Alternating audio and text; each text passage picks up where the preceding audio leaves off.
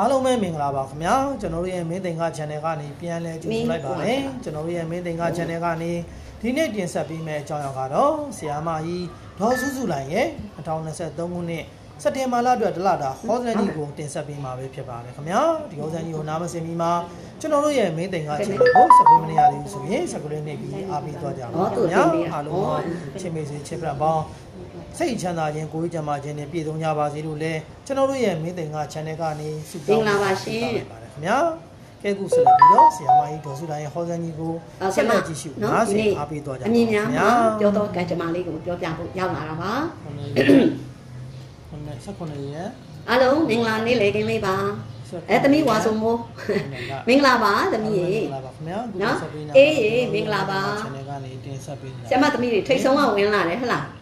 ခင်မိုးဝေသမီးမင်္ဂလာပါအေးမြယတိမင်္ဂလာပါနော်ဆရာမအဝေးကိုကြည့်တော့မမြင်ရဘူး။အော်သမီးမျိုးသက်ကျော်မင်္ဂလာပါ။နေကောင်းကြတယ်နော်သမီး။음ဆရာမပိုလှနေတယ်တဲ့။ကျေးဇူးပါ။နော်မြင့်စုအားမင်္ဂလာပါ။နော်။အခုဆရာမဟိုပါပေါ့။နော်။၄၀ 6ယောက်တော့ရှိနေပြီသမီးနင်းနင်းလာပေးတဲ့ဖုန်းက6ယောက်ပဲရှိတယ်အဲအခုမှတက်သွားတာနော်အဲ့တော့မင်္ဂလာပါမြတ်ဖုန်းမင်္ဂလာပါဆရာမကြီးမင်္ဂလာပါရှင်နော်အေးအေးမင်္ဂလာပါရှင် share ထားပါတယ်ဒါအရန်ကျေးဇူးတင်တယ်နော်ဆရာမအဲ့ဒါလေးလည်းပြောချင်တယ်သိလား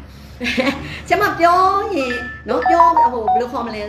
လာပြီးတော့ပေါ့နော်ဆရာမဝင်းပြီးတော့ဆရာမပြောတာလေးဝင်နားထောင်တဲ့သူတွေကိုဆရာမစိတ်နှောက်ရှက်မဖြစ်စေချင်ဘူးအဲဒါကြောင့်မလို့ဆရာမလည်းတော်ရုံနဲ့မပြောဖြစ်ဘူးပေါ့အဲ့တော့ဆရာမလေးဘယ်လိုလေးဖြစ်စေချင်လဲဆိုတော့ကိုလည်း အဲတိတ်ပြီးတော့เนาะအားစားရတာမဟုတ်တဲ့အတွက်ကြောင့်ဆီယမတင်တဲ့ post လေးတွေဆီယမအခုလို like လေးပြောတာမျိုးလေးတွေကိုဟို share ပေးစေချင်ပါတယ်เนาะ share ပေးစေချင်ပါတယ်အဲ့ဒီ share တဲ့နေရာမှာလေဆီယမအဲ့ဒီလိုပေါ့เนาะ online မှာဟိုလေ့လာတဲ့ပုံစံအရသူကတယောက်ကိုနှစ်ခါလောက် share ရင်ကိုပထမ share တဲ့ဟာကိုမတွေ့တဲ့သူကနောက် share တဲ့ဟာကိုတွေ့သွားတာမျိုးဒီလိုမျိုးလဲရှိပါတယ်တဲ့ဒါကြောင့်မို့လို့တဲ့တကယ်လို့ပေါ့နော်ဒီ post ကို လူကိုသိစေခြင်းနဲ့ပေါ့နော်ဟိုလူတွေကိုများများသိစေခြင်းနဲ့နော်ဒီပြောတာလေးကိုလူတွေများများနားထောင်စေခြင်းနဲ့ကြားစေခြင်းနဲ့ဖြန့်ဝေခြင်းနဲ့ပေါ့နော်ဒီလိုမျိုးဆိုရင်တဲ့အဲ့ဒီဆန္ဒရှိတဲ့သူဟာတဲ့နော် share လိုက်တဲ့နေရာမှာတစ်ခါတည်း share တာထက်ကိုနှစ်ခါလောက် share ရင်ပို့ပြီးတော့လုံလောက်တယ်ပို့ပြီးကောင်းတယ်ပေါ့နော်ကို sharing လုပ်ထားတဲ့ကို share လိုက်တဲ့ဟာဒီအဲ ရောက်တော့ရောက်သွားတယ်ပေါ့တငယ်ချင်းတွေရှိရောက်သွားတယ်ဒါပေမဲ့အဲ့ဒီတငယ်ချင်းတွေကကြည်ရင်နဲ့မမြန်လိုက်တာမျိုးဆိုရင်ကိုဒုတိယ second round share ထားတဲ့ဟာကိုသူသွားတွေ့နိုင်တယ်ပေါ့နော်ပြောပြောချင်တာကမျက်စိခလုံးမတိုက်တိုက်အောင်နှစ်ကြိမ်လောက် share ခြင်းဟာပိုကောင်းတယ်ပေါ့အဲဒီလိုလေးပြောတယ်အမြဲ share ပါတယ်တဲ့ဟွာဆုံးမို့ဟုတ်ပါပြီတမိကျေးဇူးတင်ပါတယ်နော်အဲ့တော့စောနန်းနဲ့မင်္ဂလာပါတမိမင်္ဂလာပါ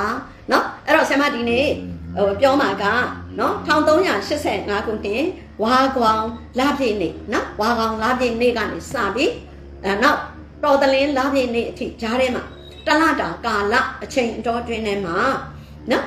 အဲဒီဇာတာရှင်တယောက်ချင်းစီရဲ့အမြင်များမှပြောတော့ကံကြမ္မာဆိုတဲ့အကြောင်းလေးကိုပြောမှာဖြစ်ပါတယ်။အော်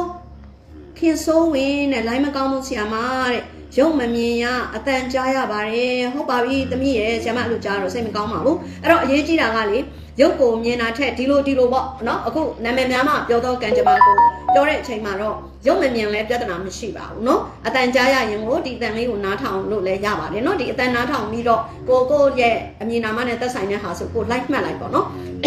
ဟိုဆရာမမနေ့ဖြန်ကိုမနေ့ဖြန်ကိုလာပြည့်နေ့လောက်ရမယ့်အစီရင်အခုလာပြည့်ကဘာဖြစ်လဲဆိုတော့ဩဂတ်လထဲမှာနှစ်ကြိမ်ဖြစ်တယ်ပေါ့နော်နှစ်ကြိမ်ဖြစ်တယ်အဲ့တော့အခုလာမယ့်လာပြည့်နေ့ဟာ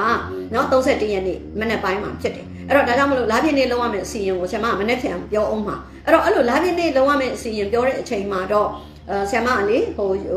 အတန်ကြားရုံနဲ့မဟုတ်ဘူးရုပ်ပါမြင်ရရင်ပိုကောင်းတယ်ပေါ့နော်ဒါလေးကိုတော့အကယ်၍မြန်တော့ကိုဆ iam direct လွှင့်နေတဲ့အချိန်မှရောရုပ်ကိုမမြင်ရခဲ့ဘူးဆိုရင်လည်းပဲအဲလောလောဆယ်အတန်နားထောင်နာပြီးနောက်ပိုင်းကျမှနော်ပြန်ကြည့်ပါဘာကြောင့်လဲဆိုတော့ဆ iam ကလေပြင်ဆင်ပူဇော်ရမယ့်ဟာလေးတွေကိုလက်တွေ့လုပ်ပြတယ်ပေါ့နော်အဲအဲ့ဒါလေးတွေကိုအဲ့ဒါလေးတွေကိုကြည့်စိတ်ချမ်းလို့ပါ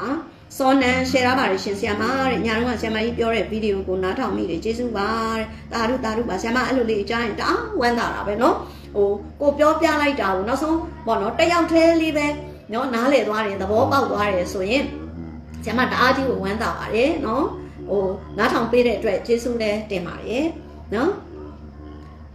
တက်တက်ဆိုးတဲ့ မင်္ဂလာပါသမီးရေအုံမာကုသိုလ်စိတ်နဲ့အမြဲလိုက်လို့ဖြစ်ပါတယ်ဟုတ်ပါပြီသမီးအုံမာရေသမီးတို့ဝန်ထမ်းတွေဟလာကြည့်လို့ရအောင်ဆရာမစနေတနင်္ဂနွေလေးကိုလုပ်ပေးဖြစ်တာပါเนาะနှမို့ဆိုရင်အုံမာတို့ဆိုဝန်ထမ်းတွေဖြစ်တဲ့အတွက်เนาะဂျာရက်တွေဆိုမကြည့်ပြစ်လိုက်ရအောင်ပေါ့เนาะအဲ့တော့ဟုတ်ပြီအဲ့တော့ဆရာမကမနေ့ပြန်လဲเนาะလာပြည့်နေ့အစီအစဉ်လေးကိုပြောအောင်မှာဖြစ်တယ်เนาะမနေ့ပြန်ကိုလည်းစောင့်ပြီးတော့ကြည့်ပေးပါဒီနေ့ကတော့ရုပ်မမြင်ရဘူးเนาะအတန်မဲကြားရတယ်ဆိုလည်းပဲပြဿနာမရှိပါဘူးတန်လေးကိုနားထောင်ပါ မိတ်ဆွေတို့လည်းအမြဲ share ထားပေးပါတယ်ကောင်းလိုက်တာတမီကျေးဇူးတင်တယ်နော်ဟုတ်ပြီအဲ့ဒါဆိုရင်ဆရာမနော်အားလုံးပေါ့နားထောင်ခြင်းတဲ့သူတွေအတွက်စပြီးပြောပါတော့မယ်အဲ့တော့ဘာခေါင်လာတဲ့နေ့ကဘယ်နေ့ကြလဲဆိုတော့ဩဂတ်လ31ရက်နေ့ဖြစ်ပါတယ်နော်အဲ့တော့လပက္ခပြည့်တဲ့အချိန်ကတော့အဲ့ဒီနေ့ရဲ့မနက်ပိုင်းဖြစ်ပါတယ်အဲ့တော့ဘာခေါင်လာပြည့်နေ့နော်ဘာခေါင်လာပြည့်နေ့ကနေစပြီး တော်တလင်းလာပြည့်နေ့ထိတလတာကာလအတွင်းအမြင်များမှပြောတော့ကံကြမ္မာအဟောလေးကိုစပြီးပြောပါမယ်နော်အမြင်များမှာပြောတော့ကံကြမ္မာဆိုတာအခုအစ်စ်နားထောင်တဲ့လူတွေအတွက်ဆရာမနည်းနည်းလေးနော်အချိန်လေးပေးပါဆရာမဒါလေးရှင်းနေပါတယ်ရှင်းပြချင်ပါတယ်နော်အကိုကတနင်္ဂနွေတနင်္လာအင်္ဂါဘာပဲဖြစ်ဖြစ်ပါဆရာမအခုဟောနေတာဒီကိုယ့်ကိုမွေးထားတဲ့မွေးနံကိုဟောခြင်းမဟုတ်ဘူးအမြင်နာမကိုပဲအဓိကထားပြီးဟောတာဖြစ်တဲ့အတွက်အမြင်ရဲ့အစဆလုံးကိုယူရမှာဖြစ်ပါတယ်နော်ဥပမာဆရာမနာမည်ဒီဒေါ်ဆုဆုလှိုင်ဖြစ်တယ်ဒါကြောင့်မလို့စုကို အဖွင့်နာမည်ဖြစ်တဲ့အတွက်အင်္ဂါနံနဲ့အစပြုတ်တဲ့အဟောမှာနားထောင်ပေးရမှာဖြစ်ပါတယ်နော်ဟုတ်ပြီ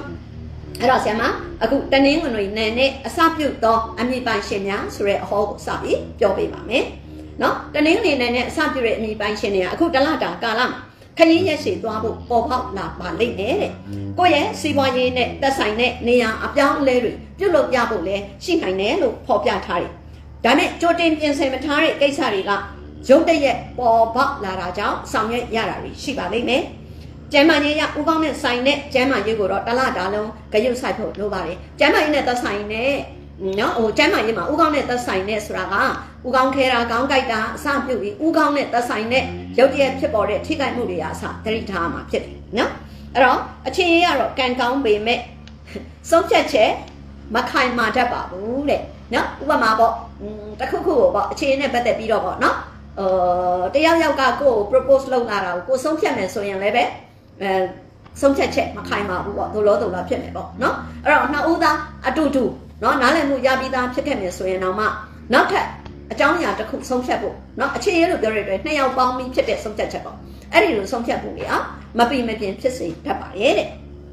နော်အိမ်အောင်ရေးကတော့ကံကောင်းတယ်လတလဖြစ်ပါတယ်ဒါတနင်္ဂနွေနေ့နဲ့အစပြုတဲ့သူတွေရဲ့ကံပြောတာနော် အဲ့တော့အဲ့ဒီတနင်္ဂနွေနေ့နဲ့အစပြုတဲ့အမိပိုင်ရှင်တွေဟာပြုတ်လို့ရမယ့်ကုသိုလ်ကသူ့ရဲ့မူရင်းမွေးနေ့နဲ့တနင်္ဂနွေနေ့တွေမှာနွားတို့တက်ခွက်နဲ့ဗရာကျော်တပွဲကိုပြင်ပြီးမြတ်စွာဘုရားရှင်ကိုအာယုံစွန်းအဖြစ်နဲ့ကတ်လှူရမှာဖြစ်ပါရဲ့နော်အဲ့တော့ဆရာမပြောချင်တာတနင်္ဂနွေနေ့နဲ့အစပြုပြီးပေးထားတဲ့အမိပိုင်းရှင်တွေဟာတနင်္ဂနွေသားသမီးတွေဟုတ်ချင်မှာဟုတ်နော်အဲ့တော့တနင်္ဂနွေသားသမီးဟုတ်ဟုတ်မဟုတ်ဟုတ် ဒီအဟောကိုပဲတနင်္ဂနွေနေ့နဲ့အစပြုတဲ့သူတွေကနားထောင်ရမယ်အဲ့တော့ဒါပေမဲ့သူကတနင်္လာသားဖြစ်တယ်တနင်္ဂနွေနေ့နဲ့အစပြုပြီးအမိပေးထားတယ်ဆိုရင်တော့အဲ့တော့မွေးတဲ့မွေးနံတနင်္လာနဲ့နော်ကိုယ့်ရဲ့အမိဖြစ်တဲ့တနင်္ဂနွေနဲ့အဲ့ဒီနှစ်ရက်မှာဒီကုသိုလ်ကိုလုပ်ပေးဖို့လိုပါတယ်နော်တနင်္လာနေ့နဲ့အစပြုတဲ့အမိပိုင်ရှင်တွေရဲ့တလတာကံကြမ္မာကိုပြောပြပါမယ်ငွေကြေးကိစ္စတွေရှုပ်ထွေးတတ်ပါတယ် နော်ဒါလေးကိုသတိထားဖို့လိုတယ်လို့ဆိုတယ်ငွေကြေးကိစ္စရှုပ်ထွေးတတ်တယ်ဆိုတာပေးခြင်းယူခြင်းရောင်းခြင်းဝယ်ခြင်းအားလုံးအကျိုးဝင်ပါတယ်အဲ့တော့အစားအသောက်စားတော့ကုန်အဲ့ဒါတွေနဲ့ပတ်သက်ပြီးလုပ်နေတဲ့စီးပွားရေးလုပ်နေတဲ့တနင်္လာအမည်နဲ့စတဲ့သူတွေဆိုရင်အဲ့ဒီငွေကြေးရှုပ်ထွေးတတ်တဲ့ကိစ္စကိုပို့ပြီးကြည့်ဆိုင်ဖို့တော့လိုပါတယ်တဲ့နော်အဲ့တော့အထူးသဖြင့်ပြပထုတ်ကုန်နေနဲ့သက်ဆိုင်နေဆိုရင်နော်ပြပထုတ်ကုန်နေဆိုတာကကိုကိုယ်တိုင်ကပြပကိုဖြတ်မျိုးရောင်းချတာမျိုး နော်ပြပကမှာယူတင်သွင်းတာမျိုးအဲ့ဒီလိုလုပ်တဲ့လုပ်ငန်းလုပ်တဲ့လူတွေဆိုရင်ねအဲ့ဒီလုပ်ငန်းကိုအကြောင်းပြုတ်ပြီးငွေကြေးလက်လွန်တာတွေဖြစ်ပေါ်စေတတ်လို့ဒါကိုလည်းသတိထားရမှာဖြစ်ပါရဲ့တဲ့နော်အတိုက်ခံလုပ်ရတဲ့နော်အတိုက်ခံလုပ်အတိုက်ခံပြောဆိုရတဲ့ကိစ္စတွေကတော့ဒီလထဲမှာအောင်မြင်မှုရှိမှာပါတဲ့ဟိုပြောချင်တာကလေအမြင်မှာတနင်္လာနဲ့နဲ့စထားတဲ့အမြင်ပိုင်းရှင်တွေဟာဒီလထဲမှာနည်းနည်းတော့ ဘာပြောလဲဆိုတော့ခက်ခက်ခဲခဲလေးရှိတတ်တယ်ပေါ့နော်ဟိုငွေချင်းနဲ့ပတ်သက်ရင်လည်းပဲနည်းနည်းလေးစိတ်နှောက်ချက်တွေဖြစ်စေရတတ်တာမျိုးကိုသတိထားမှာဖြစ်တယ်တဲ့နော်အောင်မြင်မှုရမှာတော့မှန်ပေမဲ့ဘလို့နေရာမှာအောင်မြင်မှုရမလဲဆိုတော့အတိုက်ခံလောက်ရတဲ့အောင်မြင်မှုအတိုက်ခံပြောဆိုရတဲ့နေရာတွေမှာအဲ့တော့သူကတော့အောင်မြင်မှုရမယ်ဒါပေမဲ့စီးပွားရေးဆိုတာကလည်းအတိုက်ခံပြောရဆိုရလောက်ရတာအများကြီးပါပါတယ်နော်အဲ့တော့အဲ့ဒီနေရာမှာအောင်မြင်မှုရမယ်လို့သိရတဲ့အတွက်ကြောင့်ဒီကံတရားဟာလည်းဒါကောင်းတယ်လို့ပဲဆိုရမှာပေါ့နော်အဲ့တော့ လူမှုရေးကိစ္စတွေကဆုံးဖြတ်ချက်မချတဲ့ကာလဖြစ်တယ်နော်လူမှုရေးကိစ္စလို့ပြောတော့အခြေလည်းပါတယ်အခြားသောပါဝင်ခြင်းလူမှုရေးကိစ္စတွေလည်းပါတယ်ပေါ့နော်ဆိုလိုချင်တာကငါဒီလူကိုတော့ငါဒီစကားပြောလိုက်မယ်နော်ကိုယ့်ရဲ့လူမှုရေးပေါင်းသင်းဆက်ဆံရေးနဲ့ပတ်သက်ပြီးဒါပေမဲ့ဒီလိုလာမှန်းမပြောပါနဲ့နော်မှားတဲ့စကားလွန်တဲ့စကားတွေဖြစ်စေတတ်လို့ပါတဲ့နော်အဲ့တော့အခြေအမှလည်းဒီလိုပဲလူမှုရေးဆိုတော့အခြေရေးပေါ့နော်အဲ့ဒါဒီမှာလည်းပဲဆုံးဖြတ်ချက်ချတာတွေဟာ မှားသွားတတ်တဲ့အတွက်ကြောင့်အရေးကြီးတဲ့ကိစ္စတွေကိုတော့ဒီလာထဲမှာလူမှုရေးနဲ့ပတ်သက်ပြီးဆုံးဖြတ်ချက်မချသင့်ဘူးလို့ပြောထားတာပါနော်နောက်တစ်ခါအိမ်အောင်ရေးကတော့ကောင်းတဲ့လပိုင်းကာလဖြစ်တယ်တဲ့နော်အိမ်အောင်ရေးနဲ့ပတ်သက်ရင်တော့ထုံးနဲ့တအုပ်နားလည်မှုရပြီးနေထိုင်နိုင်တဲ့လဖြစ်လို့ကောင်းတယ်လို့ဆိုထားပါတယ်သွေးနဲ့သက်ဆိုင်တဲ့ကျမ်းမာရေးကိုတော့ဒီလာထဲမှာဂရုစိုက်ရမယ်တဲ့တနင်္လာနေ့နဲ့အစပြုတ်ထားတဲ့အမိပိုင်ရှင်နေဟာသွေးနဲ့သက်ဆိုင်တဲ့ကျမ်းမာရေးကိုဂရုစိုက်ရမယ်တဲ့ နော်သွေးနဲ့သက်ဆိုင်တဲ့ကျန်းမာရေးဆိုတာအမျိုးမျိုးဖြစ်နိုင်ပါတယ်သွေးတိုးတာရှိတယ်သွေးပေါင်ကျတာရှိတယ်သွေးအားနည်းတာရှိတယ်သွေးထဲမှာသကြားဓာတ်လွန်တာရှိတယ်သွေးထဲမှာသကြားဓာတ်နည်းသွားတာရှိတယ်အဲ့တော့ဘလို့ပဲဖြစ်ပါစေသွေးကိုအကြောင်းပြုပြီးဖြစ်ပေါ်လာတတ်တဲ့ကျန်းမာရေးမျိုးတွေဝင်ရောက်နိုင်လို့ဒီလထဲမှာတော့သွေးနဲ့သက်ဆိုင်တဲ့ကျန်းမာရေးကိုတနင်္လာနေ့နဲ့အစပြုထားတဲ့အမိပိုင်ရှင်တွေသတိထားပြီးဖို့တော့လိုပါရဲ့တဲ့နော်အဲ့ဒီတနင်္လာနေ့နဲ့အစပြုတဲ့အမိပိုင်ရှင်တွေလောက်ရမယ့်ကုသိုလ်ကနေ့စဉ်နေ့စဉ်မိမိအိမ်ရဲ့ဖခင်ကြောင်းတော်မှာ ရေးကြည့်တော့သုံးခွက်ကိုမိမိလက်နဲ့မဖြစ်မနေကတ်လှူပေးပါတယ်အဲ့တော့ဆရာမမိမိလက်လို့ထည့်ပြီးဘာဖြစ်လို့ပြောလဲဆိုတော့ဆရာမရေကြီးတော်သုံးခွက်ကိုဖျားရှင်ကိုကတ်လှူလိုက်ပါဆိုပြီးသွားပြီလေမဟုတ်ဘူးမိမိလက်နဲ့နော်မိမိလက်ဖြစ်မဖြစ်မနေကတ်လှူပေးပါလို့ဆိုရတာဘာကြောင့်လဲဆိုတော့အဲ့ဒီတောက်တော်ရေကိုနော်အချို့ကရှိတယ် ကလေးတွေနော်ကိုယ့်ရဲ့တပည့်တွေသားသမီးတွေကပြင်ဆင်ပေးတာကိုကနော်ကတ်တူလိုက်တာရှိတယ်အဲ့ဒီလိုမဟုတ်ပါဘူးတဲ့နော်ဒီတနင်္လာနေ့နဲ့အစပြုတဲ့အမိပိုင်ရှင်တွေကဖျားရှင်ကိုရေးကြည့်တော့ကတ်တူတော့မယ်ဆိုရင်တဲ့စွန့်လိုက်တဲ့နော်ဟိုရေတော်ခွက်ဒါမှမဟုတ်မိမိစပြီးတော့ကတ်လူမဲ့ရေတော်ခွက်တွေကိုကိုယ်တိုင်တိုက်ချွတ်စေကြောတန်ရှင်ပြောင်းလဲနေပြီဆိုတဲ့အချိန်မှာအဲ့ဒီခွက်ထဲကိုနော်ဖန်ခွက်ထဲကိုရေကြည့်တော့ထဲ့တဲ့နေရာမှာလဲကိုယ်တိုင်ထဲ့ပြီးရင်ရေထည့်ပြီးသားဖန်ခွက်ကိုဖျားကိုကတ်လူတဲ့နေရာမှာလဲပဲ ကိုယ်တိုင်လက်နဲ့လက်ထိလက်ရောက်ကတ်လူရမှာဖြစ်တယ်အဲ့တော့ဒီနေရာမှာဆရာမတောက်တော်ရေကတ်လူတာနဲ့ပတ်သက်ပြီးတော့လည်းပဲအနေငယ်ထည့်သွင်းပြီးပြောချင်ပါတယ်နော်တောက်တော်ရေချမ်းကတ်လူတဲ့နေရာမှာယာယီကတ်တာရှိတယ်တနေ့တာအတွက်ကတ်တာရှိတယ်နော်အဲ့တော့ယာယီကတ်တယ်ယာယီကတ်တယ်ဆိုတာကဘယ်လိုလဲဆိုတော့အချို့တွေကအလွန်ကိုသရတရားထက်သန်ပြီးတော့အမြဲတမ်းကုသိုလ်စိတ်တော်တော်ကိုကုသိုလ်စိတ်နဲ့နေတဲ့ပုံကိုကြီးနော်မနဲ့တစ်ချိန်တောက်တော်ကြီးကတ်တယ်နေ့လေတစ်ချိန် လဲလဲတယ်နော်လဲတယ်ဆေးတယ်တေးချလုတ်ပြီးတော့မှအသက်လဲပြီးနေ့လေတစ်ချိန်ကတ်ညတစ်ချိန်ကတ်အဲ့ဒါယာယီကတ်တယ်လို့ခေါ်တယ်ယာယီဆိုတာအခုကတ်ထားတာဒီမနဲ့အတွက်ပဲနေ့လေအတွက်မှာပါအောင်နေ့လေတစ်ခါပြောင်းကတ်တယ်နော်ယာယီပဲညတခါပြောင်းကတ်တယ်အဲ့ဒါယာယီကတ်အဲ့လိုယာယီကတ်ခြင်းဟာဖန်ခွက်နဲ့ပကံပြားခံပြီးကတ်လှူခြင်းဟာတင့်နေမဲ့နော်တနေ့တာအတွက်ကတ်တဲ့တောက်တော်ရင်ကြတော့ဆရာမတို့တွေနော် ဖန်ခွက်လေးနဲ့ပဲဖြစ်ဖြစ်လက်ကင်ဖန်ခွက်နဲ့ပဲဖြစ်ဖြစ်နော်ဘလို့နဲ့ပဲဖြစ်ဖြစ်မိမိမှာရှိတဲ့နော်တန့်ပြန့်ပြီးတော့တင့်တယ်တဲ့နော်ရေခွက်ပေါ့နော်ဒါလေးတွေနဲ့ကတ်လှူတဲ့အချိန်မှာအဖုံးလေးပါပါစေနော်အဖုံးလေးပါပါစေအဲ့ဒါဘာလဲဆိုတော့ဆရာမဘာကိုရည်ညွှန်းတာလဲဆိုတော့အဲ့ဒီကတ်လိုက်တဲ့ဟာဒီအခုချက်ချင်းဖះရှင်ဖုံးပေးသုံးဆောင်တော့မူခြင်းမသုံးဆောင်လိုက်နော်ဒါပေမဲ့တနေ့တာအတွက်ကတ်ထားတာဖြစ်တဲ့အတွက်ဆရာမတို့အိမ်မှာမနဲ့မိုးလေးရင် တောက်ရည်အိုးတွေကိုတောက်ရည်ဖြစ်ဒါပေမဲ့ဆရာမတို့အဲ့ဒီတောက်ရည်ဖြစ်ဖြစ်ချင်းအဲ့တောက်ရည်ကြီးကိုယူပြီးမတောက်ကြဘူးလေဖြစ်ပြီးထားထားတယ်တောက်ချင်တဲ့အချိန်သွားတောက်တယ်လေအဲတနေ့တာအတွက်နော်တောက်ရည်အိုးထဲမှာဖြစ်တယ်ဒါပေမဲ့ဘာလုပ်လဲဆိုတော့တောက်ရည်အိုးကိုဖုံးဖုံးထားတယ်ဒီသဘောပဲနော်အဲ့တော့ဆရာမတို့တွေကတနေ့တာအတွက်မနဲ့မိုးလင်းရင်တောက်တော်ရင်လဲတယ်တနေ့တာအတွက်ကတ်လူတယ်အဲ့တော့ညနေစောင်းမှတောက်တော်ရင်ပြန်လဲနိုင်တယ်ဆိုရင်တော့အဲ့ဒါဒီအဖုံးလေးနဲ့ဖုံးထားစေခြင်းပဲအခုဆရာမပြောတာကတော့နော်နေ့စဉ်ရေကြီးတော်သုံးဘက်ကိုမိမိလက်ဖြင့်မဖြစ်မနေ နော်မိမိလက်ဖြင့်မဖြစ်မနေအသမီးဒီဒီဖုန်းလေးနဲ့ပြန်ပြီးတော့ခေါ်လိုက်ဘယ်သူမှမသိတာနော်အရေးကြီးနေလိမ့်မယ်အဲ့တော့မိမိလက်ဖြင့်မဖြစ်မနေကတ်လူပါဆိုတာဒီအဲ့တော့ရေကြီးတော်သုံးခက်ကိုကတ်လူတဲ့နေရမှာတစ်ချိန်ကက်ကက်နှစ်ချိန်ကက်ကက်သုံးချိန်ကက်ကက်ကတ်လူရတယ်အဲ့တော့ခုနဟာဆရာမပြောတာကအဖုံးလေးနဲ့နော်သုံးချိန်ကတ်တယ်ပဲဖြစ်ဖြစ်အဖုံးလေးနဲ့ဆရာမရေသုံးချိန်ကတ်တယ်သမီးတို့တွေအဖုံးနဲ့ထားလို့မရဘူးလားရပါလေသို့တော်လည်းပဲအခုကတ်လိုက်တယ် နော်တအောက်နေရင်လဲတော့မယ်ဆိုရင်တော့ဒါအဖုံးမရှိလည်းဖြစ်တယ်ပေါ့နော်အဲအဲ့လိုလေးပြောချင်တာပါအဲ့တော့ရေးကြည့်တော့ကတ်တဲ့နေရာမှာတစ်နေ့လုံးမနေ့တစ်ချိန်ပဲကတ်တယ်ဆိုရင်ဖုံးလေးအုပ်ထားပေးပါမနေ့တစ်ချိန်ညမိုးချုပ်မှတစ်ချိန်ဆိုလဲဖုံးလေးနဲ့ကတ်ထားပေးပါတစ်နေ့ကို၃ချိန်တော့၎င်းအချိန်ချိန်တော့၎င်းအချို့ဆိုဆရာမတွေ့ဘူးတယ်နော်အချိန်ချိန်လဲလဲပြီးကတ်ပေးနေတာအဲ့ဒီကတ်တဲ့အချိန်တိုင်းအချိန်တိုင်းမှာတကယ်ကုသိုလ်စိတ်ဖြစ်နေတာကြည့်လေဝတရားချိန်မဟုတ်ဘူးကိုချေတောက်တိုင်းကိုဖျောင်းထောက်တော်ကြီးကတ်တဲ့နော်ဟိုမိတ်ဆွေမျိုးတွေတောင်တွေ့ဘူးတဲ့တိတ်ကောင်းတာအဲ့တော့ ရှင်းရှင်းပြောရင်တော့အဲ့လိုအနေထားဆရာမတို့မအားတဲ့အတွက်ဆရာမတို့ကိုယ်တိုင်တော့မလုပ်နိုင်ပါဘူးเนาะကောင်းတယ်ဆိုတာလေးကိုပဲဆရာမကပြောနိုင်တာပါအဲ့တော့အဲ့လိုလေးလုပ်ပါเนาะဒါတန်းင်းလာပါအဲ့တော့ရတယ်သမီးအဲ့ဒါသမီးယူထားလိုက်ဒီမှာเนาะအင်္ဂါနယ်နဲ့အစပြုတ်တဲ့အမည်ပိုင်ရှင်များအင်္ဂါနယ်နဲ့အစပြုတ်တယ်ဆိုတာသိတယ်เนาะတချို့ကျတော့အရန်ယိုးတာအရန်ယိုးတာဆရာမအင်္ဂါကဘာလဲပေါ့ဘောဓုကဘာလဲအဲ့လိုမေးတဲ့လူတောင်ရှိတယ်ပေါ့เนาะဆရာမတွေဟိုတုန်းက ဟိုတုန်းကဆရာမတို့တွေသင်္ချာတူးတင်တော့နော် mass 2တင်တဲ့အခါမှာကာကြီးခါခွေးတွေနော်အဲ့ဒီအခရာတွေကြီးတွေပါတယ်လေအဲ့ဒီခရေကဆရာမတို့တွေသိပါတယ်အခုနောက်ပိုင်းမှာဘယ်လိုလူမျိုးတွေပုံသိလဲဆိုတော့ကဏ္ဍတွေတွက်ကြတာလေနော်စစဇဇညကတော့ဘာနန်းပေါ့နော်အဲ့လိုတွက်တဲ့လူတွေလည်းအများအဖြစ်သိတယ်တချို့သိရိုးတယ်လူတွေကြတော့မသိကြဘူးပေါ့နော်အဲ့တော့အဲ့ဒီအတွက်ကိုရည်ရွယ်ပြီးဆရာမကပြောပြခြင်းပါတယ်နော်အင်္ဂါဆိုတာစလုံးစလိန်စားကွယ်စားမယ်ဆိုရင်ညပါနော်အဲ့ဒီအခရာတွေနဲ့အစပြုတ်ထားတဲ့အမိပိုင်ရှင်တွေပါ ဥပမာဆရာမဆိုလဲစုစုလှိုင်းဆိုရင်ဒါအင်္ဂါနယ်နဲ့အစပြုတ်ထားတဲ့အမိပိုင်ရှင်ပေါ့နော်အဲ့အဲ့လိုအမိပိုင်ရှင်တွေနားထောင်ပေးပါဆွေမျိုးမောင်နှမညာနဲ့လောက်ကင်နဲ့အလုပ်တွေအောင်မြင်လိမ့်မယ်နော်ဆွေမျိုးတွေနဲ့ပဲဖြစ်ဖြစ်မောင်နှမတွေနဲ့ပဲဖြစ်ဖြစ်အတူတွဲပြီးလုပ်တဲ့အလုပ်ယာယီလုပ်ပဲဖြစ်ဖြစ်အမြဲတမ်းအလုပ်ပဲဖြစ်ဖြစ်အဲ့ဒီဒီလထဲမှာစပြီးရင်းနှီးမြှောက်နှံတာပဲဖြစ်ဖြစ်အောင်မြင်လိမ့်မယ်လို့ဖော်ပြတယ်ဒါပေမဲ့ငွေကြေးကျွေးမြီနဲ့ဆိုင်တဲ့ကိစ္စရက်တွေနဲ့ပတ်သက်ရင်တော့အငင်းပွားဆက်ရတယ်ရှိတယ် အဲ့ဒါကိုတော့သတိထားဖို့လိုတယ်ဒါဟိုကတက်တက်နော်ညီကောင်မတော်မသားချင်းတွေနဲ့ပြုလုပ်တဲ့စီးပွားရေးကနေပြီးတော့အငင်းပွားရတာကိုဆိုလိုခြင်းမဟုတ်ဘူးနော်သူ့ဟာသူအခြားကိစ္စတစ်ခုကနေငွေကြေးနဲ့ပတ်သက်တဲ့ကိစ္စရက်တွေမှာအငင်းပွားဆက်ရတွေပေါ်ပေါက်စေတတ်တယ်အဓိကအဖြစ်တော့ငွေကြေးကျွေးမြီနဲ့ပတ်သက်တာငွေကြေးကျွေးမြီလို့ပြောလိုက်တာနဲ့မိမိကသူတစ်ပါးလက်ထက်ကိုပေးထားတာလည်းပါဝင်သလိုသူတစ်ပါးကသူတစ်ပါးရှိကနေမိမိယူထားတာလည်းပါဝင်လိမ့်မယ်နော်အဲ့ဒါနဲ့ပတ်သက်ပြီးတော့အငင်းပွားစရာတွေဖြစ်ပေါ်စေတတ်တာကိုဒီလာထဲမှာသတိထားဖို့လိုတယ်တဲ့နောက်အစီအစဉ်မရှိတဲ့ရုပ်တရက်ခရီးကိုသွားခြင်း သွားရတာတွေရှိလိမ့်မယ်သို့တော့သတိထားရမှာနော်ကြိုပြီးပြင်ဆင်ထားတဲ့ခီးကတော့အကြောင်းမဟုတ်ဘူးတဲ့ဟဲဟဲဟဲမနေ့ပြန်ကြရင်ငါတို့ဟိုသွားကြအောင်ဒီသွားကြအောင်ပေါ့နော်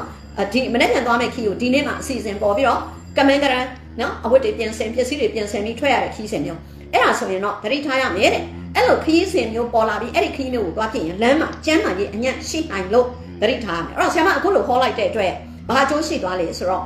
ရုပ်တရက်ဒီလာထဲမှာပေါ့နော်အင်္ဂါအနေနဲ့ အစပြုတဲ့အမိပိုင်ရှင်တွေဟာရုပ်တရက်ခရီးသွားဖို့အစီအစဉ်ပေါ်လာပြီဆိုရင်ဘာလုပ်ရမလဲကိုနဲ့သက်ဆိုင်တဲ့ဆေးဝါးကိုချမ်းမာနေအောင်တော့ကိုရုပ်တရက်ဖြစ်ပေါ်တတ်တဲ့ဆေးဝါးဘာမှရုပ်တရက်မဖြစ်တတ်ခဲ့ရင်တော့မှဘာဖြစ်ခဲ့ရင်နော်တောက်သုံးလို့ရအောင်ဘာဖြစ်ခဲ့ရင်အသုံးပြုလို့ရအောင်ဆိုတဲ့ဆေးဝါးပြည့်စုံအောင်ထည့်သွားဒါဒီရဲတွေကပဲအဲ့တော့ဆရာမတို့မိတ်ဆွေတို့နားလည်ထားတဲ့ရဲတွေကဆိုတာက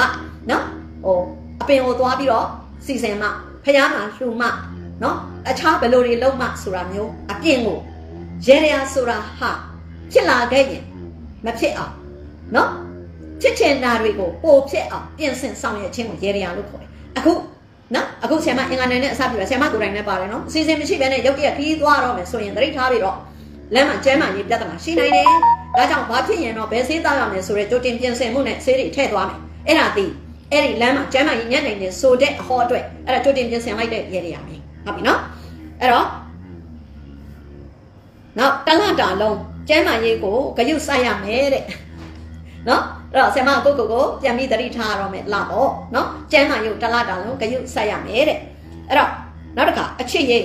အချစ်ရေးအောင်မြင်မဲ့ကာလဖြစ်တယ်တဲ့နော်လူငယ်လူရွယ်တွေလူလွတ်တွေအခြေနဲ့ပတ်သက်တဲ့ကိစ္စရက်တွေမှာတော့ကိုကစိတ်ဝင်စားတဲ့အမျိုးသားကိုကစိတ်ဝင်စားတဲ့အမျိုးသမီးနဲ့ပတ်သက်လာရင် ကောင်းမွန်တဲ့တုတ်ပြန်မှုစိတ်ချမ်းသာမှုကိုရရှိမှာဖြစ်တော့အောင်မြင်မယ်ပေါ့နော်အဲအဲ့ဒီလိုပြောချင်တာဖြစ်တယ်အဲ့တော့အတူတကွနားလည်မှုရထားပြီးသားသူတွေကလည်းတယောက်နဲ့တယောက်ညှိနှိုင်းပြီးတော့အကောင်းဆုံးကိုဆုံးဖြတ်နိုင်မဲ့လပိုင်းကာလဖြစ်လို့အခြေရနဲ့ပတ်သက်ပြီးနော်အောင်မြင်မဲ့ကံကောင်းမဲ့ကာလလို့ဆိုတယ်အိမ်အောင်သေးတွေအတွက်ကတော့အိမ်အောင်ဖက်ရဲ့အောင်မြင်မှုသတင်းကောင်းကိုကြားရမယ်တဲ့နော်အောင်မြင်မှုအိမ်အောင်ဖက်ရဲ့အောင်မြင်မှုကြောင့်နော်မိမိမှာကောင်းမွန်တဲ့စိတ်ချမ်းသာမှုသတင်းကောင်းတွေကြားတဲ့ကြားရမယ် အောင်မြင်မှုရဲ့နောက်မှာအကျိုးကျေးဇူးတွေလည်းပါလာနိုင်တာပေါ့နော်အဲ့ဒါလေးတွေအင်္ဂါနံနဲ့အစပြုတဲ့အမြေပိုင်ရှင်တွေအတွက်ဖြစ်ပါတယ်အဲ့တော့အင်္ဂါနံနဲ့အစပြုတဲ့အမြေပိုင်ရှင်တွေပြုရမယ်နော်ကုတ်တုကစူးပါတဲ့နှင်းစီနိညိုရောင်ကျမတို့အခုနောက်ပိုင်းမှာနော်ဟိုစူးပါတဲ့နှင်းစီတွေအများကြီးတွေ့ရတယ်နော်အဲ့တော့ကျမအဲမကြမကြဆ iam အဲ့ဒီမိတ်ကက်ရောင်လေးကိုသဘောကျတော့မိတ်ကက်ရောင်လေးကိုဆ iam အဲဖះမှာမကြခဏပူဇော်ဖြစ်တယ်ပေါ့နော်အဲ့တော့ အဲ့ဒီမိတ်ကပ်ရောင်ကလည်းတော်တော်ဆူးထူတာဒါပေမဲ့ဆရာမအခုလိုချင်တာကလေနီညိုရောင်လေးအင်္ဂါကြိုကြီးဟာနီညိုရောင်ကိုကိုစားပြုလို့ဒါကြောင့်ဆရာမကစူးလဲပါရမယ်နီညိုရောင်လေးလည်းဖြစ်ရမယ်နော်အဲ့ဒီလိုနှင်းစီပန်း၃ပွင့်ကိုအပတ်စဉ်အင်္ဂါနေ့တိုင်းမိမိအိမ်ဖះเจ้าတော်မှာမြတ်စွာဘုရားရှင်ကိုအာယုံပြုပြီးပူဇော်ပေးဖို့ဖြစ်ပါတယ်เนาะတစ်ဖက်ကိုတစ်ချိန်မှာเนาะညှိုးရင်ဆွန့်ထားလိုက်နောက်တစ်ပတ်အင်္ဂါရောက်တော့မှပြန်ပြီးပြင်ဆင်ပူဇော်မယ်ပေါ့เนาะအဲ့လိုလေးလုပ်ရမှာပါ ကဲဘောရုဏံနဲ့အစာပြုတ်တယ်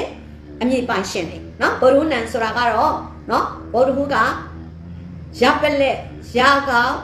လာဝတမပါဘူးရပလက်ရာကောင်လာဝဒါတွေနဲ့စတဲ့အမြင့်ပိုင်ရှင်တယ်နော်ဒါတွေကဘောရုဏံနဲ့အစာပြုတ်တဲ့အမြင့်ပိုင်ရှင်တွေဖြစ်ပါတယ်နော်အဲ့ဒီအမြင့်ပိုင်ရှင်တွေကတော့အလုတ်အပြောင်းအရွှေ့နေရာအပြောင်းအရွှေ့တွေဖြစ်လိမ့်မယ်တဲ့နော်အလုံးနဲ့ပတ်သက်ပြီးအပြောင်းအရွှေ့တွေဖြစ်မယ် အဲ့တော့သူကအလုတ်တွေမဟုတ်ဘူးနောက်ထပ်ဘာပြောလဲဆိုတော့နေရာပြောင်းရွှေ့တဲ့နေရာပြောင်းရွှေ့ဆိုတာအလုတ်ပေါ်မှာမူတည်ပြီးနေရာပြောင်းရွှေ့ရတာဖြစ်နိုင်တယ်လို့နေရာထိုင်ခင်းနဲ့ပတ်သက်တဲ့အပြောင်းအရွှေ့ပြုတ်လို့ရတာလည်းဖြစ်နိုင်ပါတယ်နော်အဲ့ဒီလိုလေးဖော်ပြထားပါတယ်အဲ့တော့ကောင်းသောအပြောင်းအရွှေ့လည်းဖြစ်ပါတယ်တဲ့အဲ့တော့ယာရုတိုးပြီးတော့အပြောင်းရွှေ့လောက်ရတော့မယ်လို့ဘိုလ်ရူးနန်နဲ့အစပြုတဲ့အမိပိုင်ရှင်ကသတင်းကြရင်ဒါကောင်းပြီလို့ဒါကုတ်ကုတ်ကိုအောက်မိတ်လိုက်ပါကောင်းဖို့ဖြစ်လာတာလို့အောက်မိတ်လိုက်ပါဟွန်းဒီနေရာကြီးမသွားချင်ပါဘူး နော်ဒီနေရာကြီးကိုမသွားချင်ပါဘူးလို့ဆိုပေမဲ့ရောက်သွားရင်အဲ့ဒီနေရာဟာသူ့အတွက်ကောင်းမဲ့နေရာဖြစ်လိမ့်မယ်လို့ဆိုပါတယ်ဒီလထဲမှာနော်ပြောင်းရွှေ့ဖြစ်အဲ့တော့ကိုပိုင်စီးပွားလုပ်ငန်းလုပ်တဲ့သူဖြစ်ရင်တော့တဲ့နေရာအသစ်ဒေတာအသစ်တွေမှာတိုးချက်လောက်ဆောင်ရတာရှိလိမ့်မယ်နော်ခုနကအဲဆရာမနေရာပြောင်းရမယ်ဆိုတာကနော်ဝန်ထမ်းတွေကိုဆိုလိုတယ်နောက်တစ်ခါအိမ်နေရာထိုင်ခင်းနဲ့ပတ်သက်ရင်တော့နော်အိမ်နေရာထိုင်ခင်းပြောင်းရွှေ့ရတာကိုပြောတာအခုကထပ်ပြောထားတာက နော်ကိုပိုင်စီးပွားလုပ်ငန်းလှုပ်ဆောင်တဲ့လူတွေဆိုရင်တဲ့အဲ့ဒီကိုပိုင်စီးပွားလုပ်ငန်းနဲ့ပတ်သက်တဲ့အခြေချတဲ့နေရာဟာနော်အခြေချတဲ့နေရာဟာတတ်တတ်နော်နောက်ထပ်နေရာအသစ်ဒေတာအသစ်တွေမှာထပ်တိုးချဲ့ရမယ်အဲ့ဒါလေးကိုနည်းနည်းနားလည်ရမယ်ပြောင်းရွှေ့တာနဲ့တိုးချဲ့တာမတူဘူးပြောင်းရွှေ့တယ်ဆိုတာကဒီမှာလုံးဝဖယ်ရှားပြီးနောက်တနေရာတစ်ခုကိုလုံးဝပြောင်းသွားတာတိုးချဲ့တယ်ဆိုတာကလက်ရှိရှိနေတဲ့နေရာကနေဒီတိုင်းပဲရှိနေမယ်နောက်ထပ်ဒီပုံစံကိုပဲနောက်တနေရာမှာထပ်ပြီးဖန်တီးတာနော်အဲ့ဒါဒီတိုးချဲ့တာ အဲ့တော့အဲ့ဒီလိုတိုးချက်ဆောင်ရွက်ရတာတွေရှိလိမ့်မယ်ဒါကောင်းတာပေါ့နော်တိုးချက်တယ်ဆိုတဲ့ကတိုးတက်တဲ့အပေါင်းလက္ခဏာကိုဆိုတာလေနော်ကောင်းတယ်ပေါ့လူမှုရေးရစိုးရင်ကြောင်းကြဆရာတွေရှိလိမ့်မယ်တဲ့အဲ့ဒါလူမှုရေးဆိုတာအခြေအကိုပြောတာပါနော်အဲ့တော့လူလွတ်လူငယ်တွေလူလွတ်တွေပေါ့စင်ငယ်တွေအနေနဲ့ကတော့အခြေအနေနဲ့ပတ်သက်ရင်လူငွေနဲ့ပတ်သက်ရင်နော်လူငွေရနှစ်မျိုးနော်ဆရာမပြောခဲ့တယ်အခြေအနေလဲလူငွေရေးကိုပဲပြောတယ်ကိုပေါဝင်ခြင်းလူငွေရေးကိုလည်းလူငွေရေးနဲ့စဉ်းစားမယ်ဆိုရင်ကြောင်းကြဆရာရှိလိမ့်မယ်ဆိုတာကနော်အခြေအနေနဲ့ပတ်သက်ရင်တော့နော်မိမိ ဥတီရည်ရွယ်ထားတဲ့မိန်းကလေးရဲ့တုတ်ပြန်မှုအနေအထားပေါ်မှာဆိုရင်ကြောင်းကြစရာဖြစ်တာမျိုးတွေရှိကောင်းရှိနိုင်တယ်ပေါ့ဒါမျိုးကိုလည်းဆိုလို့ချင်းဖြစ်တယ်တာမန်လူမှုရေးနဲ့ပတ်သက်ရင်တော့နော်မိမိခင်မင်နဲ့မိတ်ဆွေတငယ်ချင်းတွေကဟာငါ့ကိုထင်လွဲသွားပြီလားငါပြောတဲ့စကားကိုနားလည်မှုလွဲသွားပြီလားအာဒါမှမဟုတ်သူတို့ပြောတဲ့စကားကိုပဲကိုကိုယ်တိုင်နားလည်မှုလွဲပြီးစိတ်မကောင်းဖြစ်နေရတာမျိုးတွေအဲဒါမျိုးတွေဒီလာထဲမှာဖြစ်နိုင်တယ်တဲ့အဲ့တော့လုံးလို့ရတဲ့အချက်တစ်ခုက ကိုကိုသူတပားကကိုပြောတဲ့စကားကိုနားလည်မှုလွဲသွားတာကိုတော့အချိန်ယူပြီးတော့ခဏဆောင်ပြီးရင်တော့ဖြည့်ရှင်းတာပေါ့နော်ချက်ချင်းဖြည့်ရှင်းတာဘယ်ကိစ္စမှမကောင်းပါဘူးအဲ့တော့အကယ်၍မြန်တငယ်ချင်းမိတ်ဆွေတွေပြောတဲ့စကားပေါ်မှာကိုကနားလည်မှုလွဲပြီးတော့စိတ်မကောင်းဖြစ်နေမယ်ဆိုရင်တော့အဲ့ဒါဒီဒီအချိန်ကာလမှာနော်မိတ်ဆွေတွေကြောင့်သူဒီပတ်ဝန်းကျင်ကြောင့်ဖြစ်တဲ့လူငွေကြောင့်ဖြစ်တဲ့စိတ်မကောင်းမှုတွေနော်စိတ်နှောက်ယှက်တွေအဲ့လိုဝင်ရောက်တက်တဲ့နော်ဆိုရင်ကြောင်းချစရာတွေဖြစ်နိုင်တယ်ဆိုရယ်ကံတရားငါမှရှိနေလို့ဩငါတငယ်ချင်းတွေပြောတာဒီသဘောမဟုတ်ပါဘူး ငါဘာဖြစ်လို့ဒီစိတ်တွေမွေးနေရတာလဲလို့ကိုကိုကိုပြန်ဆုံးမှပြီစိတ်ကိုအကောင်းဆုံးအခြေအနေတစ်ခုနဲ့စိတ်ချမ်းသာတဲ့အနေအထားကိုပြန်ပြောင်းပြီးနေလိုက်ပါနော်အဲ့ဒီလိုလေးနားလည်ပေးပါအိမ်အောင်ရေးနဲ့ပတ်သက်ရင်တော့အိမ်အောင်ဘက်ရဲ့ကျမ်းမာရေးကိုတော့တတိထားကြရုပ်ဆက်ရမယ်တဲ့နော်အိမ်အောင်ဘက်ရဲ့အိမ်အောင်ဘက်ရဲ့ကျမ်းမာရေးနော်အိမ်အောင်ဘက်ရဲ့ကျမ်းမာရေးညံ့မဲ့ကာလဖြစ်လို့ကြရုပ်ဆက်ရမယ်တဲ့အဲ့ဒါက ဆ iam အခုပြောနေတာမိန်းကလေးဘက်ကဒါမှမဟုတ်ယောက်ျားလေးဘက်ကဒီလိုပြောနေတာမဟုတ်ဘူးနော်ဆ iam ပြောတာဒီဘုရုနယ်နဲ့အစပြည့်တဲ့အမြည်ပိုင်ရှင်နေသည်အမျိုးသားဖြစ်ဖြစ်အမျိုးသမီးဖြစ်ဖြစ်အဲ့ဒါအားလုံးကိုရည်ရွယ်ပြီးပြောတာဖြစ်ပါတယ်နော်အိမ်အောင်ဘက်ရဲ့ကျမ်းမာရေးကိုခရုဆက်ရမယ်အိမ်အောင်ဘက်ကျမ်းမာရေးညံ့အဲ့ဒီလိုပဲတဲ့ကိုကိုယ်တိုင်ရဲ့ကျမ်းမာရေးမှာလည်းပဲမိမိကိုယ်တိုင်နဲ့ခန္ဓာကိုယ်မှာအပူလွန်ကဲတာကြောင့်ဖြစ်တဲ့ဥကောင်းခဲတဲ့ဝေဒနာမျိုးတွေဖြစ်ပေါ်စေတတ်တာကိုတော့ ဒီလထဲမှာသတိထားဖို့လိုပါတယ်တဲ့နော်ကောင်းကြိုက်တာနော်မူဝေတာဥကောင်းနဲ့ပတ်သက်တာအဲ့ဒါသူကဆိုလိုတာကတော့ခန္ဓာကိုယ်မှာအပူလွန်ကဲတယ်ဆိုတော့အပူကြောင့်ဖြစ်တဲ့အခြားဟာတွေလည်းပဲသတိထားသွားရင်ပိုကောင်းတာပေါ့နော်အဲ့တော့အဲ့ဒီပုံလူနယ်နဲ့အစပြုတဲ့အမိပိုင်ရှင်တွေစဟိုသူတို့ရဲ့ပြုတ်လုပ်ရမယ့်ကုသိုလ်တွေကမိမိအိမ်ဖျားเจ้าတော်မှာရွှေထီးတက်လက်ကိုဗုဒ္ဓနဲ့တရက်ကနေစတင်ပြီးတလတောင်လုံးပူဇော်ပေးသွားဖို့ဖြစ်ပါတယ်နော်ရွှေထီးတက်လက်ကိုကြိုတင်ပြင်ဆင်ထားမယ် ပြီးရင်ဗုဒ္ဓဟူးနေ့မှာစပြီးတော့မိမိအိမ်ဖះကြောင်းတော်မှာဖះရှင်ကိုအာယုံပြုတ်ပြီးအဲ့ဒီရွှေထီးကိုပူဇော်ရဖြစ်ဖះကိုပူဇော်မှာနော်ရွှေထီးနဲ့ပူဇော်မှာဖြစ်ပါလေနော်အဲ့ဒါဗုဒ္ဓဟူးနေ့နဲ့အစပြုတ်တဲ့သူတွေပါအဲ့တော့ဂျာသာရင်းနိုင်နဲ့အစပြုတ်တဲ့အမည်ပိုင်ရှင်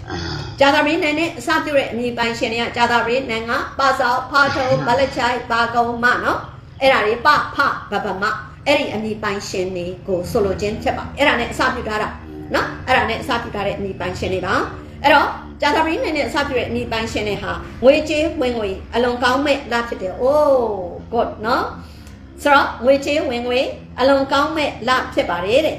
လုပ်ငန်းဝင်တာမကလူမှုရေးမှာပါအပြိုင်ဆိုင်ပေါ်မဲ့လဖြစ်တယ်လို့နော်သူကန်ကြမှာကဖော်ပြလာပါတယ် အဲ့တော့ဝင်ငွေတွေကောင်းတယ်ဒါပေမဲ့အပြိုင်ဆိုင်ကတော့မလွတ်ကဲမှုအဲ့ဒီအပြိုင်ဆိုင်ကစီးပွားရေးအလုပ်ကင်တွဲမှာတော့မကောက်ဘူးတဲ့လူမှုရေးနဲ့ပတ်သက်တဲ့ကိစ္စတွေမှာပါအပြိုင်ဆိုင်ဖြစ်ဖို့ရှိတယ်တဲ့နော်ဒါကန်တရားမှာဒီတိုင်းရှိနေတယ်ဆိုရင်အပြိုင်ဆိုင်ပေါ်လာရင်အဲ့ဒီပေါ်မှာအာမလျှော့ဇွဲမလျှော့ပဲနဲ့မှန်ကန်တဲ့နီလန်းနဲ့ပြန်ပြီးစူးစမ်းသွားရမှာဖြစ်တယ်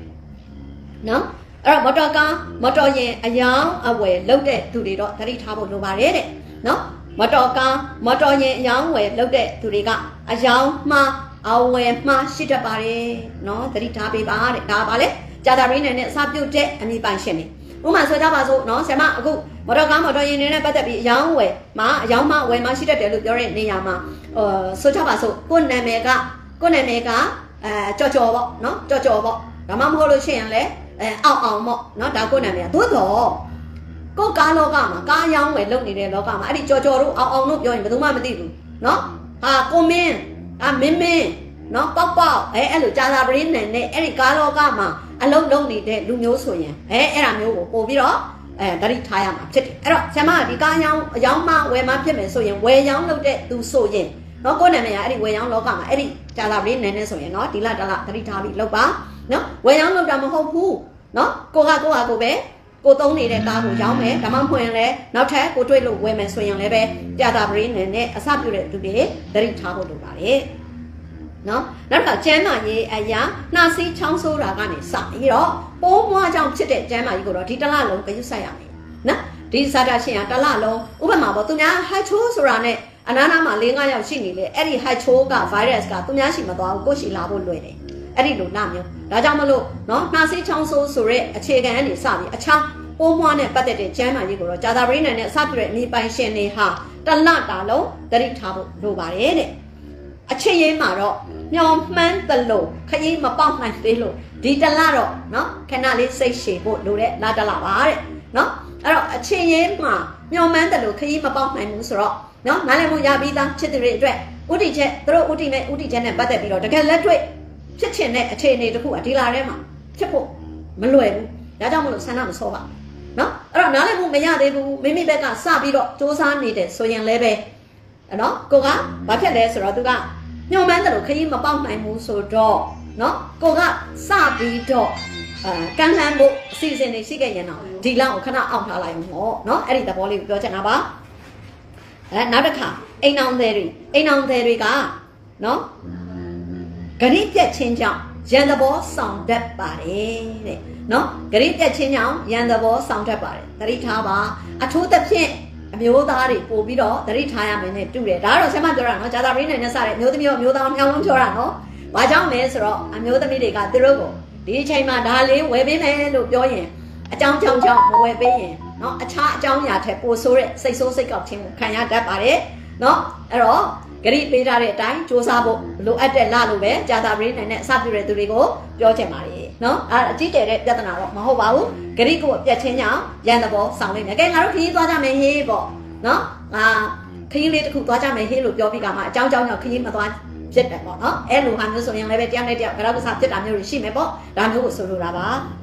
အဲ့တော့ဂျာတာရင်းနယ်နဲ့အစပြုတ်တဲ့နော်ဂျာတာရင်းနယ်နဲ့အစပြုတ်တဲ့အမြင့်ပိုင်ရှင်တွေ ကုသိုလ်ပြုဖို့ကဘာပြုရမလဲဆိုတော့တဲ့မတူတဲ့တတိသုံးမျိုးကိုမတူတဲ့တတိသုံးမျိုးဆိုတာဥမာလိမ္မောစပြစ်မလကာပေါ့နော်မတူဘူးပေါ့အဲ့ဒီတတိသုံးမျိုးကိုတန်ဃာတော်တွေကိုစွန်းတဲ့အတူကတ်လူချင်းကိုကြာတာပရိနေ့တိုင်းဆောင်ရွက်ရမှာဖြစ်တယ်ဆ iam ပြောတာလေအိမ်ဖျားမှာကတ်လူချင်းမဟုတ်ဘူးနော်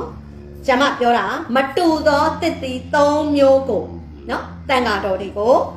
နော်စွန်းတဲ့အတူအဲ့တော့ဘာလုပ်ရမလဲဆိုတော့အိမ်ဝင်ကြွတဲ့နော်အိမ်ဝင်ကြွတဲ့တန်ဃာတော်ကိုပဲဖြစ်ဖြစ် တန်းစွန်းမှာပဲဖြစ်ဖြစ်ဂျာသာပရိနေ့ဆိုရင်မတူတဲ့တတိသုံးမျိုးကိုထည့်ပြီးတော့လောင်းလှူပေးပါအကယ်၍တန်းစွန်းလည်းမရှိဘူးအိမ်ကိုကြတဲ့တန်ဃာတော်လည်းမရှိဘူးဆိုရင်တော့ဂျာသာပရိနေ့မှာတန်ဃာတော်ရဲ့အကြောင်းကိုသွားပြီးတော့နော်ဒီလိုလေးစွန်းလောင်းလှူရင်းနဲ့နော်တတိသုံးမျိုးကိုကတ်လှူတဲ့ကုသိုလ်ပြုလုပ်ပေးပါလို့ဆိုထားပါရဲ့နော်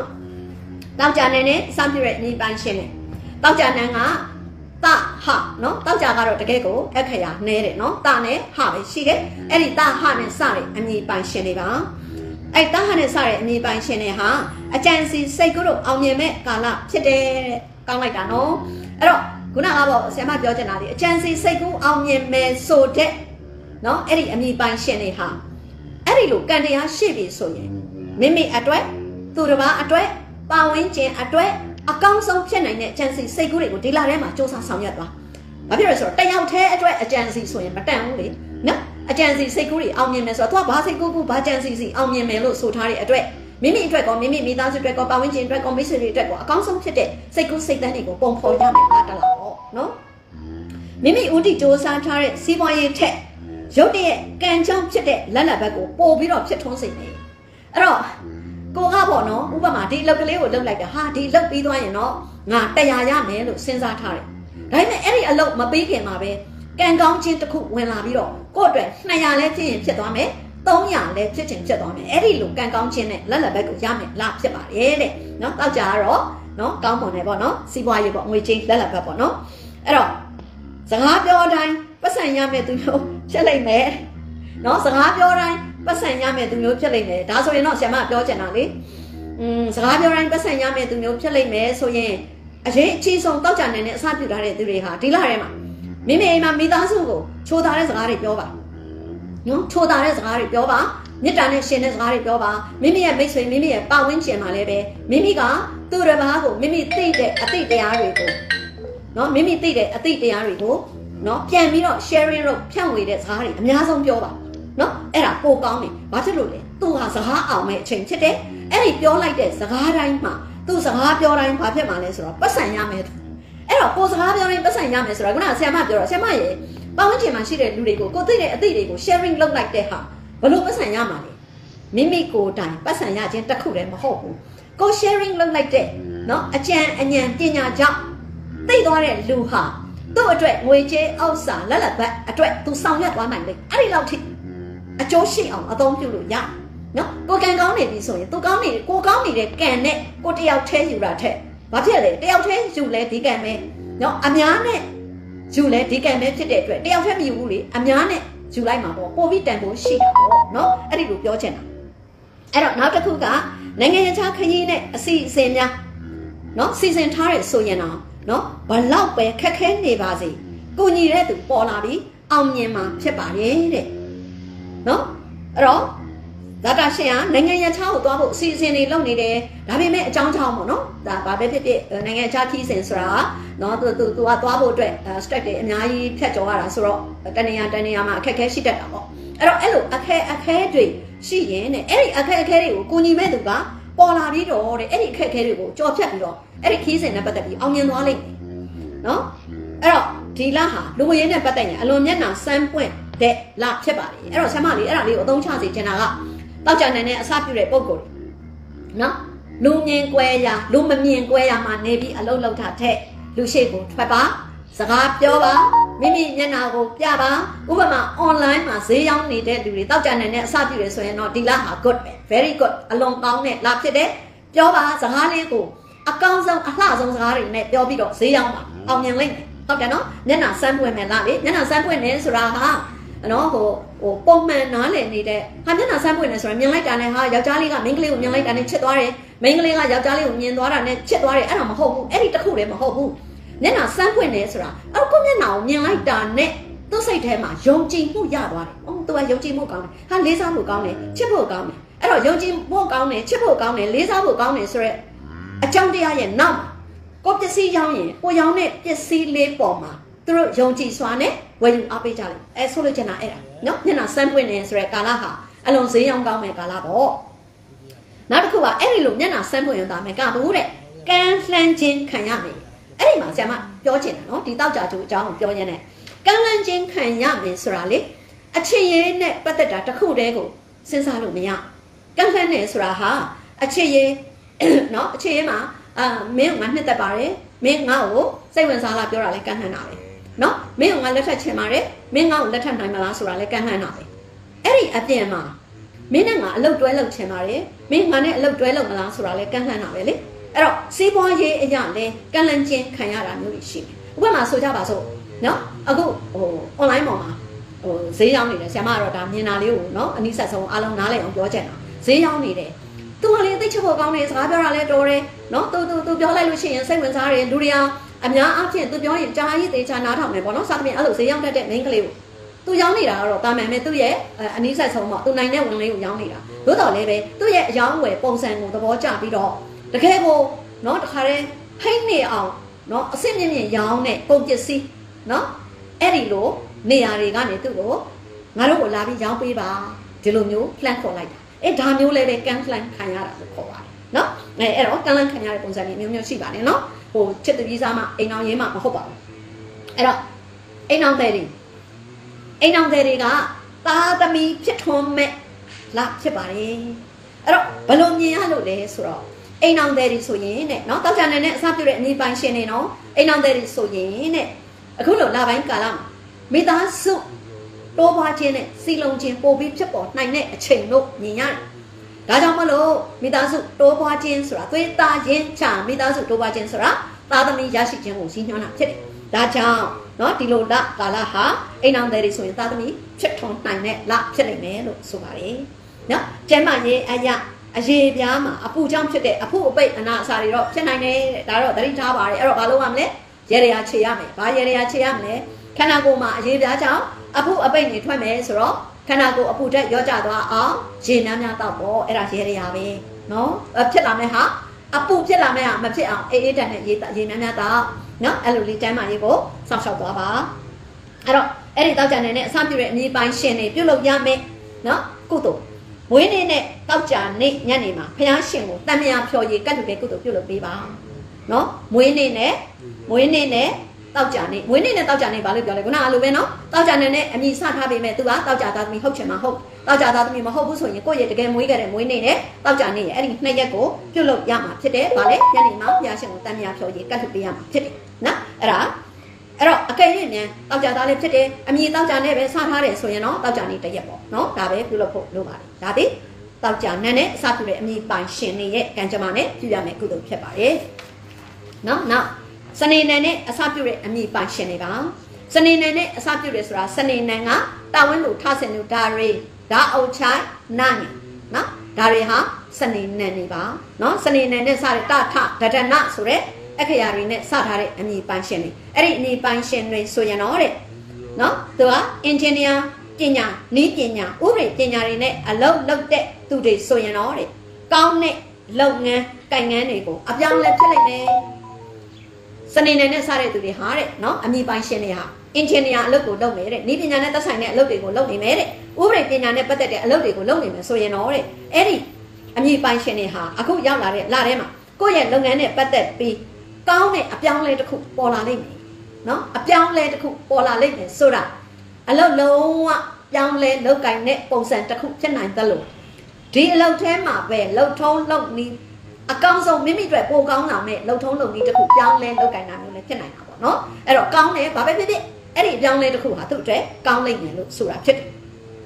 လူမှုပတ်ဝန်းကျင်အရမကြာခဏအထင်လွဲခံရလိမ့်မယ်တဲ့နော်လူမှုပတ်ဝန်းကျင်အရဆိုတဲ့နေရာမှာခုနကဆရာမပြောတဲ့အခြေအရေးတစ်ခုလည်းမဟုတ်ဘူးနော်လူမှုပတ်ဝန်းကျင်အရဆိုတာကိုပြောတဲ့စကားလေးအပေါ်မှာနော်ဘေးကနားလည်မှုလွဲသွားတာအထင်လွဲခံရတာနော်ကိုကစိတ် မကြည်လင်တဲ့အချိန်မှာသူများတွေကကိုကိုပြောပြလိုက်လို့ကိုကသူ့ကိုအာယုံမဆိုင်နိုင်ဘူးမပြောမိတာနော်ဒါမျိုးတွေဖြစ်တတ်တယ်နော်လူတိုင်းဖြစ်တတ်တယ်နော်အဲ့တော့အဲ့ဒီအဖြစ်အပျက်ကိုကဒီလာထဲမှာစနေနိုင်နဲ့စထားတဲ့အမြင်ပိုင်ရှင်တွေပို့ပြီးဖြစ်နိုင်လို့သတိထားပါတဲ့နော်အထင်လွဲခံရမယ်တဲ့အယောင်းဝယ်လုပ်ငန်းတွေမှာစနေနိုင်နဲ့အစပြုတ်တဲ့အမြင်ပိုင်ရှင်တွေဟာနော်အယောင်းဝယ်လုပ်ငန်းတွေမှာနော်ကုံဟောင်းတွေကပို့ပြီးကောင်းတဲ့အကျိုးအမြတ်တွေကိုရမယ်နော်ကုံတယ်တွေပေါ့နော်ကုံတယ်တွေကုံတယ်တွေကကုံဟောင်းတွေလို့ပြောတဲ့နေရာမှာကြိုပြီးသိမ်းထားတဲ့ ကြိုပြီးသိမ်းထားတဲ့ကုန်ပစ္စည်းတွေလောင်ထားတဲ့ပစ္စည်းတွေပေါ့နော်အဲ့လိုဟာတွေကတဲ့အကျိုးအမြတ်ပို့ပြီးရမယ်တဲ့ပစ္စည်းအသစ်တွေနော်ပစ္စည်းအသစ်တွေထွက်ပစ္စည်းအဟောင်းတွေကသူ့အယောင်းဝယ်မှာအကျိုးအမြတ်ပို့ပြီးတော့ဖြစ်လိမ့်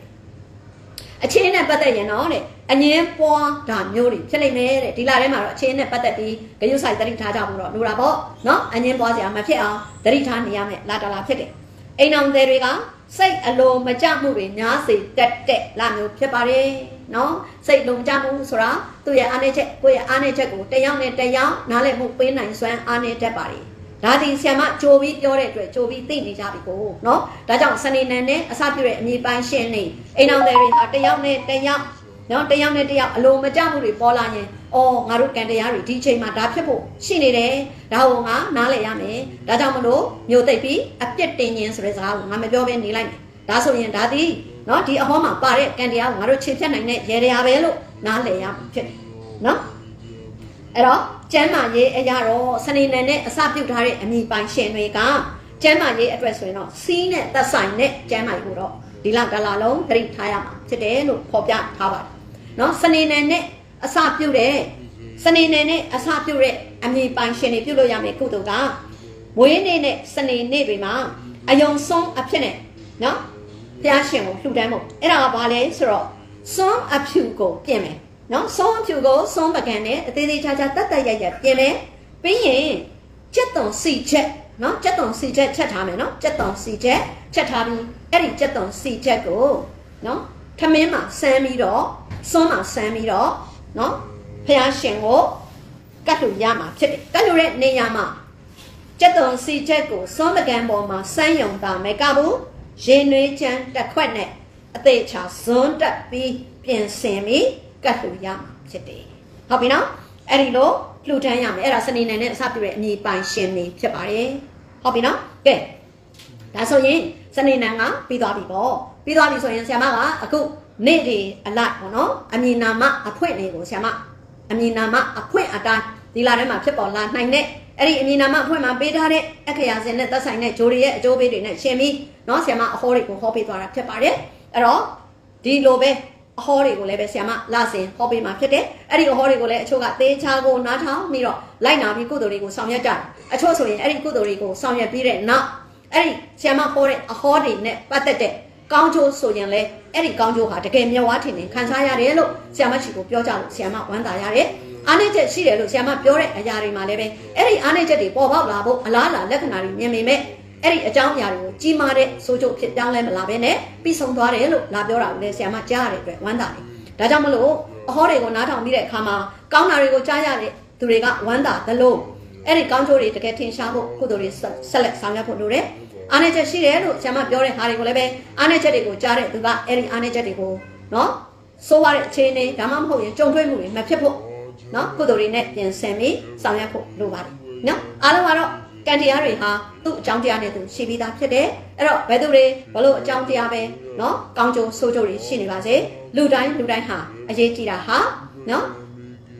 ဖရာယရဏတရားယရဏတန်ခါယရဏတိဟူသောယရဏမြတ်၃ငါးကိုမမေ့မလျော့ရှိနေဖို့လိုတယ်။နော်နောက်တစ်ခုမိမိရဲ့ဘဝချမ်းသာခြင်းတိုးတက်ခြင်းတွေကိုဖြစ်စေဖို့ဒါနကုသိုလ်သီလကုသိုလ်ဘာဝနာကုသိုလ်တွေကိုလည်းပဲမမေ့မလျော့ရှိနေဖို့လိုပါတယ်။ဒါတွေကိုပြည့်စုံနေပြီဆိုရင်တော့ဖြစ်ပေါ်လာမဲ့ကောင်းကံတွေကိုထင်ရှားပြီးဖြစ်ပေါ်လာနိုင်တဲ့အားနည်းချက်တွေကိုလည်းပဲကြိုတင်သိရှိပြီးကာကွယ်သွားနိုင်မယ်လို့ပြောချင်ပါတယ်။နော်။ကဲအားလုံးပဲ ဒီနေ့ဆ iam ရဲ့အမြင်များမှာပြောတော့ကံကြမ္မာအဟောလေးပြီးဆုံးခဲ့ပါပြီနော်ဝင်ရောက်နားထောင်ပေးကြတဲ့မိတ်ဆွေတွေအားလုံးကိုဆ iam ကကျေးဇူးအထူးတင်ပါတယ်နော်လာရောက်ပြီးနားထောင်ပေးကြတဲ့မိတ်ဆွေတွေအားလုံးတစ်ဆင့်နော်နောက်ထပ်နားထောင်ကြတဲ့သူတွေစင့်ပွားပြီး share ပေးကြတဲ့သူတွေအားလုံးကိုကျေးဇူးတင်ပါတယ်အဲဒီလိုအဟောလေးတွေကိုနားထောင်လို့ရအောင်ရောအဟောလေးတွေနဲ့ရှင်တွဲပြီးကုသိုလ်တရားတွေဆောင်ရွက်ဖို့အခွင့်အရေးရဖို့အတွက်ရောနော်ဝင်ရောက်နားထောင်ပေးကြတဲ့သူတွေကဒီဆီယမရဲ့ ဒီဗီဒီယိုလေးကို share ပေးကြပါ sharing လေးလုပ်ပေးကြပါလို့လည်းနော်ထပ်ပြီးပြစ်တာရက်ခံပါတယ်အားလုံးမိတ်ဆွေများအားလုံးကျမ်းမာချမ်းသာကြပါစေစိတ်ဤချမ်းသာခြင်းကိုယ်ဤကျမ်းမာခြင်းနဲ့ပြည့်စုံကြပြီမိသားစုများအားလုံးစီပွားဥစ္စာလလဘများတိုးတက်ကြ၍စိုးရင်ကြောင်းကြပူပင်မှုမှကင်းကြပါစေအဒင်းလုံး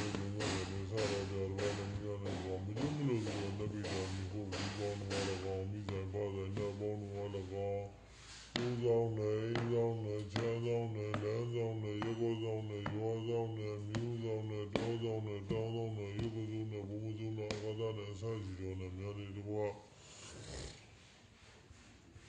တာနာဘူဆောင်ရရှိတော့တာတော့မင်းကြီးပါနဲ့ကွာလို့ဆက်နေလို့ဂျာမီရတော့ငယ်ရမမရတော့ဘူးဂျာမီရတော့ အဘဘူဝါဘူဝါရောစလာတယ်ပဲဘာစီအီစီအပူစီအပွင့်ဆိုင်ရတော့ဘူးဒီလိုဘောင်းဝါတော့အမေဇူအမေရောမင်းလာကမေရောဘွားမေရောမီမေရောဆိုင်စီရောမေရောဘောင်းဝါတော့ဒီဘောင်းဝါတော့တယူဘူးတော့တယူမေရောဘောင်းဝါတော့အနည်းရှင်ဒီပေါင်းတော်လာကောင်းရောတော်ရှင်မြို့တော်ရှင်နေပါရှင်ကိုမရှင်ပေါင်းတော်လာကောင်းဒီလိုမျိုးဒီလိုမျိုးဘုရားဘုရားဆုံးရရောကိုမရှင်ရတော့ဒီ ဘောင်းတော်နဲ့မိရင်းရတော့ဘုံရောကောင်း